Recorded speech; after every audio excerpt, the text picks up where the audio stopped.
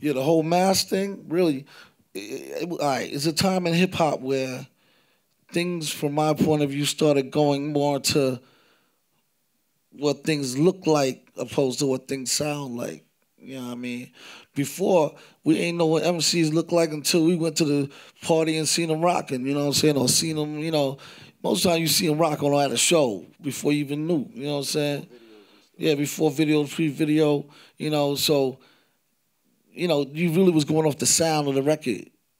Straight skills. See, once it started getting more publicized and, you know, it started being, hip-hop started being more of a, a money-making thing, then you get these corporate ideas where you want to put what it looks like to sell what it sounds like. But we dealing with music, so what I did was I said, all right, look, I'm gonna come with the angle of it don't matter what I look like, you know, it don't matter what the artist look like. It's more what the artist sound like. So the mask really represents the the whole like to rebel against the trying to sell the product as a human being. You know what I mean?